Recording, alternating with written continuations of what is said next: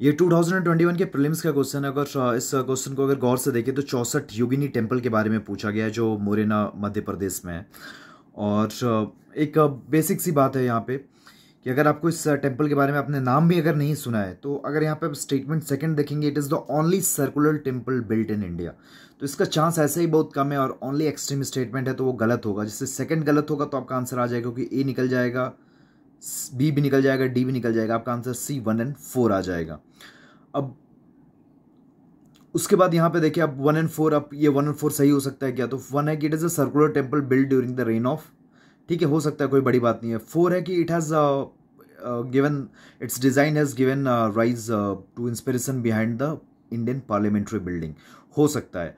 और reason being अगर आप डिटेल में अगर करंट अफेयर्स देख रहे होंगे तो अभी जो सेंट्रल वेस्ता प्रोजेक्ट है तो उसके वजह से ये न्यूज़ में था कि जो पार्लियामेंट है वो इस पर्टिकुलर टेंपल से इंस्पायर्ड था। बेकर ने बनाया था एक्चुअली डिज़ाइन किया था Indian parliament building circular shape में और वो इसी टेंपल से इंस्पायर्ड थे। तो इसलिए वो न्यूज़ में था। अगर वो पता होता तो आपको पता होता कि फोर सही है तो वहाँ से भी आप आंसर निकाल सकते थे। तो अगर इन्हीं केस अगर सेकंड ऑप्शन आप एलिमिनेट कर देंगे तो आपका आंसर यहाँ पे निकल जाएगा। तो डेफिनेटली यहाँ पे भी स्मार्ट गेस वर्क का रोल टू के प्रीलिम्स में भी थोड़ा कम हो गया था, लेकिन डेफिनेटली आप सॉल्व कर सकते हैं गिने चुने सवाल। तो कुछ कुछ जो सवाल जो आप इजिली सॉल्व कर सकते थे स्मार्ट गेस वर्क से विदाउट इवन नोइंग तो उसको मैं बनाऊँगा अपने शॉर्ट्स में तो this was one of it